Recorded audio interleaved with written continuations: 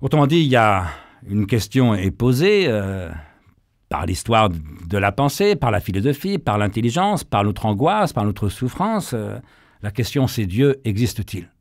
Si on laisse de côté les dogmatiques et les imbéciles, qui sont souvent les mêmes, euh, il y a trois réponses intelligentes possibles. Il y a ceux qui vous diront Je ne sais pas si Dieu existe ou non, mais je crois qu'il existe. C'est ce qu'on appelle les croyants, les croyants non dogmatiques, mais les croyants. Il y a ceux qui vous diront Je ne sais pas si Dieu existe ou non, mais je crois qu'il n'existe pas. C'est ce qu'on appelle les athées, les athées non dogmatiques, mais les athées. Et puis il y a ceux qui vous diront Je ne sais pas si Dieu existe ou non, et comme je n'en sais rien, je refuse de prendre position, je refuse de trancher, je m'en tiens à cet aveu d'ignorance. C'est ce qu'on appelle les agnostiques.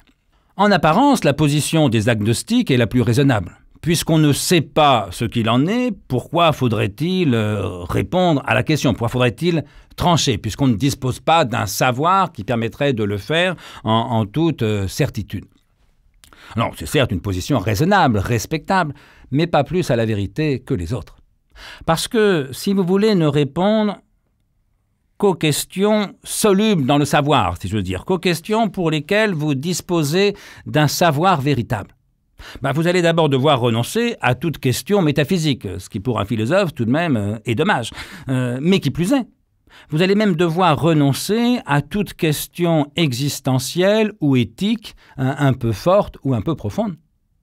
Parce que si, par exemple, votre adolescent de fils ou de fille euh, vous demande, dit papa, dit maman, est-ce que la vie a un sens?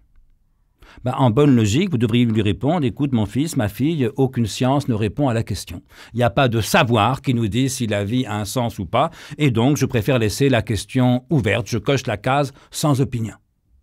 Alors votre gamin, un peu désarçonné, va vous dire, oui mais enfin quand même, euh, euh, le bonheur, euh, c'est possible, ça existe, comment l'atteindre? Ah écoute, mon fils, ma fille, aucune science ne répond à la question, je coche la case sans opinion. Oui mais enfin, est-ce que la vie vaut la peine d'être vécue? Mon fils, ma fille, aucune science ne répond à la question, je coche la case sans opinion. Vous allez avoir du mal à, élever vos enfants, à les accompagner dans, dans, leur adolescence, et puis surtout du mal à vivre, parce que la question de savoir si la vie vaut la peine d'être vécue, c'est pas seulement une question pour les autres, c'est bien sûr aussi une question à se poser à soi-même.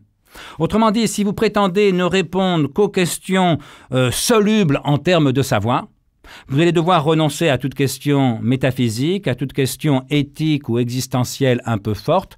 Bref, vous allez vous enfermer dans le positivisme le plus plat, c'est-à-dire le commentaire plus ou moins informé euh, des sciences exactes. Et je crois que ça serait avoir une conception bien singulièrement étroite et, appauvrie euh, de la philosophie et même en vérité de, de l'existence humaine. Si bien que les trois positions, en vérité, donc la foi, L'athéisme, l'agnosticisme sont respectables toutes les trois, mais il n'y a pas lieu d'accorder à l'agnosticisme je ne sais quelle prime euh, de la modération. C'est vrai qu'en quelque chose, l'agnostique est une espèce de, centriste, celui qui, entre les croyants d'un côté et, les incroyants de l'autre, s'en tiendrait à une espèce de, juste milieu, mais au fond, pourquoi est-ce que la vérité serait toujours euh, au milieu?